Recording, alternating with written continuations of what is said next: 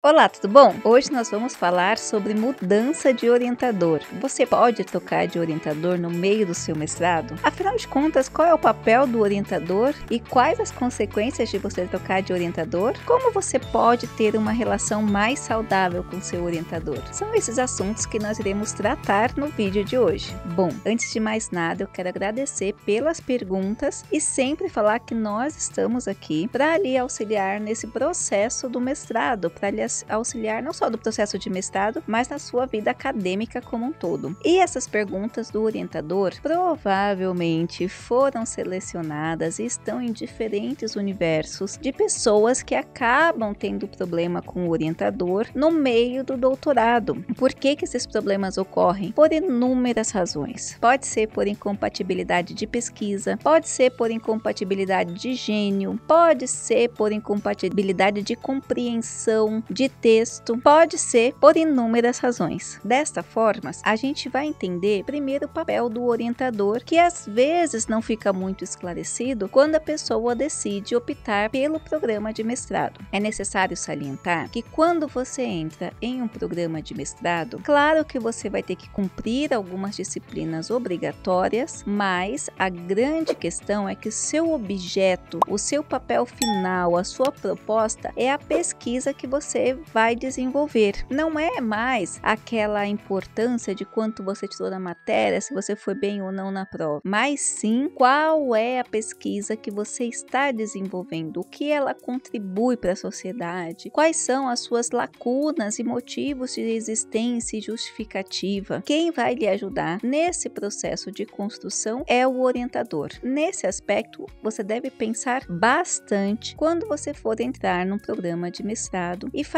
o que a maioria das pessoas não fazem: investigar quem serão os orientadores do programa, investigar quais são as linhas de pesquisas, as possibilidades, o que os orientadores investigam, porque você vai estar ligado a esse orientador ou a essa orientadora do início ao fim do seu programa. Você só vai conseguir terminar um programa de mestrado se esse orientador lhe encaminhar para a banca de qualificação e depois para a banca de defesa. É claro que existem algumas regras quando a situação sai muito do controle, que será necessário coordenadoria, reitoria, mas aí são situações que fogem realmente do controle. O ideal é que você faça a qualificação, depois faça a defesa e só aí você tire o título de mestre. Só aí você seja considerado um mestre após a defesa final, que dependerá desse orientador. Você pode trocar de orientador no meio do programa? Pode trocar. E também existem inúmeras razões porque não só você pode trocar, mas porque o programa pode trocar. Você de orientador. Há casos de doença, às vezes o professor que está te orientando sai do programa, sai da instituição de ensino, às vezes falece, às vezes o orientador simplesmente abre mão do aluno porque ele fala que não consegue orientar, não tem a mesma linha de, de, de pesquisa, o aluno quer uma coisa, ele quer outra. Você também pode pedir para trocar de orientador, chegar na coordenadoria e falar que aquele orientador não está funcionando, se você pode trocar de orientador. O que ocorre é que esse processo de troca de orientação, ele é sempre muito cansativo, porque para que ocorra essa decisão, essa tomada de decisão de trocar de orientador, é um processo de desgaste muito muito grande quando as relações realmente não estão conseguindo se encaixar e dependendo do caso costuma criar um mal-estar naquele programa. Então, existem algumas rivalidades que podem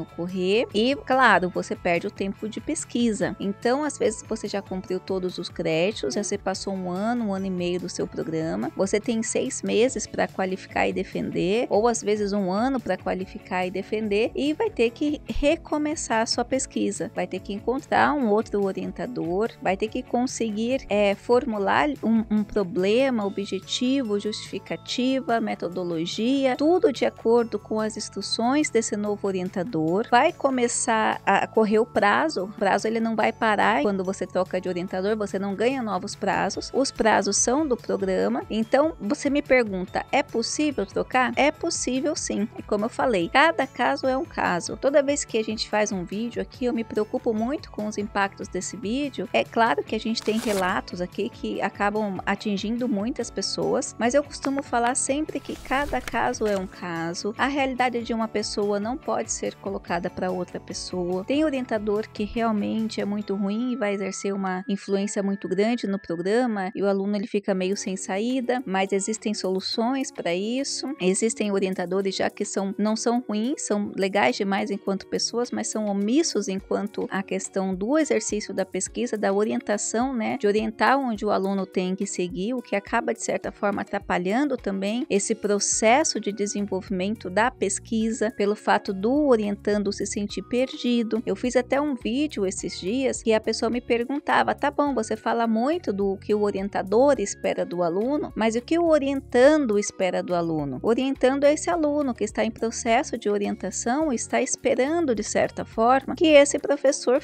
execute o seu papel de orientar para que ele saiba onde ir. Muitas vezes esses professores, eles são sobrecarregados, eles acabam demorando bastante para dar o retorno da pesquisa e o aluno fica meio à e não vale a pena você continuar trabalhando no material para o professor depois falar, ah, eu vou ver, eu vou ver depois, etc. Isso é uma, uma situação delicada. Então, a gente sempre vai falar que cada caso é um caso, mas seria aconselhável não trocar de orientador por essas questões que eu falei. É insuportável a situação. Eu não tenho o que fazer, não suporto o orientador, tá tirando a minha tranquilidade, minha saúde mental. Aí, nesse caso, você tem mecanismos para dentro da faculdade, dentro da instituição, para que você possa pleitear então um novo orientador. Pleitear, até mesmo falando que tem desinteresse de área de pesquisa, você nem precisa tentar é, se, se indispor tão grandemente com o orientador. Você pode conversar com o orientador, falar, me dispensa,